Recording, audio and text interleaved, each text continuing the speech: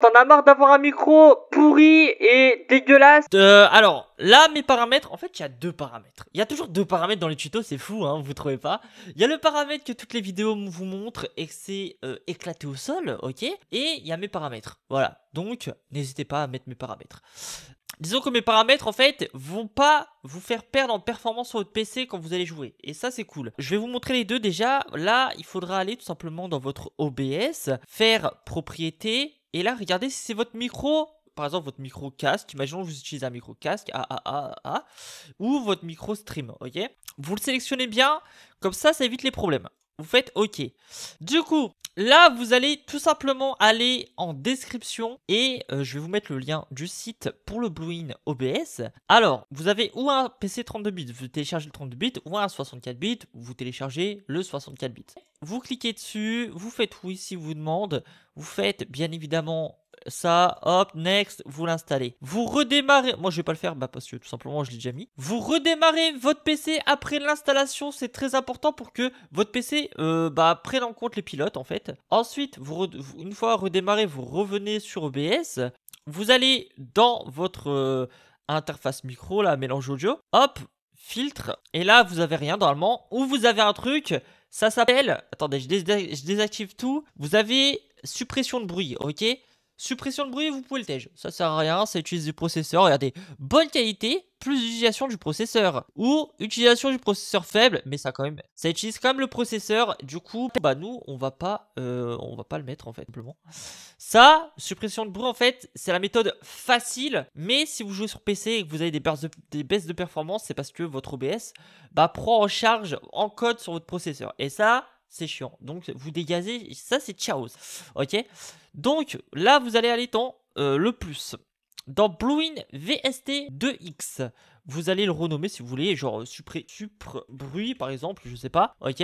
Moi je renomme pas. Vous allez simplement dans ici, vous allez chercher Readfir tiré du bas standalone. Ensuite, vous faites afficher l'interface. Et là, ça va très important. Tout ce que je vais vous dire, il faudra le faire à la lettre, ok? Là, dans mode, c'est pas déjà fait. Vous mettez subtract, ok? Donc, c'est le dernier. Hop, subtract. Et là, il faudra cocher ici pendant 6 secondes. 6 secondes, vous comptez dans votre tête. Et il faudra faire aucun bruit. Donc, si quelqu'un parle à côté de vous, vous attendez qu'il se taise ou vous lui dites de se taire, je sais pas. Mais il faudra réellement plus avoir aucun bruit dans la pièce, à part bah, ce que vous voulez enlever comme bruit, c'est-à-dire votre ventilateur de PS5, PS4 ou votre ventilateur de PC parce qu'il fait trop de bruit, vos clics de souris. Alors pour les clics de souris, il y en a qui m'ont demandé, je vais vous donner la technique. En fait, vous allez cocher ici pendant 6 secondes et pendant ces 6 secondes, vous allez tout simplement misclick à côté. Misclick, c'est-à-dire euh, vous cliquez en, continu sur votre souris mais à côté. Vous cliquez pas ici, vous cliquez ici, sur l'interface. Sur hein. Ok Vous allez cliquer en continu pendant 6 secondes et là, ça va supprimer aussi les, bruits de clic. Donc, moi, je vais pas le faire, mais vous avez compris. Donc, je vous fais automatique build pendant 6 secondes sans faire aucun bruit, ok Ensuite, vous décochez. Et là, bah, tous vos bruits ambiants sont supprimés. Voilà, c'est aussi facile que ça. Et ça prend pas de processeur. Ça, c'est ce qui est cool. Ça, c'est vraiment ce qui est cool. Et en plus, j'ai l'impression que euh, bah, ça supprime que les bruits ambiant, puisque votre voix n'est pas impactée sur la suppression de bruit. Comparé au euh, déjà, déjà, euh, déjà mis qui s'appelle supprimation de bruit, du coup, juste ici, ça, ça va enlever tous les bruits potentiels selon le seuil que vous avez mis. Ok? Donc, si votre voix, elle fait le seuil bah, du truc que vous avez mis, par exemple, je vais vous faire voir. Là, si votre seuil dépasse, je sais pas, euh, moins 21 dB, ok, bah ça va supprimer quand même votre voix et ça va vous faire une voix robotique où ça va couper des séquences de votre voix. Et je trouve ça nul en fait, je trouve ça éclaté au sol. Alors que le Bloom que, que vous avez installé là, il va supprimer que les bruits ambiants, puisque il a pris en charge de supprimer que les bruits ambiants, vous avez compris euh, Ensuite, le deuxième, alors ça c'est pas forcément, c'est juste un plus en fait. Ça c'est juste un plus, vous allez faire React Standari, euh, Standalone, ok, donc il est juste euh, là, hop, vous faites afficher l'interface. Alors, vous mettez les mêmes paramètres que moi, je pense que ça devrait le faire. Donc là, vous mettez l'opace, là vous mettez bah, tous les paramètres que moi. En 2, vous mettez bands, vous mettez tous les mêmes paramètres que moi. En 3, vous mettez bands aussi, vous mettez tous les paramètres que moi. Là, en type, vous mettez iSales, self, vous mettez tous les paramètres que moi. Vous enregistrez euh, un rec histoire de voir comment ça rend. Si ça rend mal, vous désactivez le, le Blue In, ok?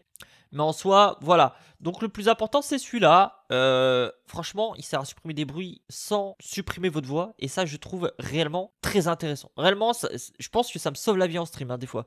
Parce que des fois, je fais des TikTok et je vois qu'avec la suppression de bruit, oh, bah, ma voix a été coupée. Du coup, le TikTok rend pas trop ouf. Et avec ce Blue In, bah, du coup, non. Et ça, c'est cool. Du coup, voilà, c'était le tuto pour supprimer les bruits de fond indésirables euh, du micro. Je pense que beaucoup me l'ont demandé et je trouve ça euh, bah, stylé de vous le partager. N'hésitez pas à me dire en commentaire si ça vous a aidé. Si vous avez des problèmes, c'est en commentaire, je vais vous répondre, vous inquiétez pas. En description, il y aura le lien bien évidemment du euh, site pour télécharger le Bluin.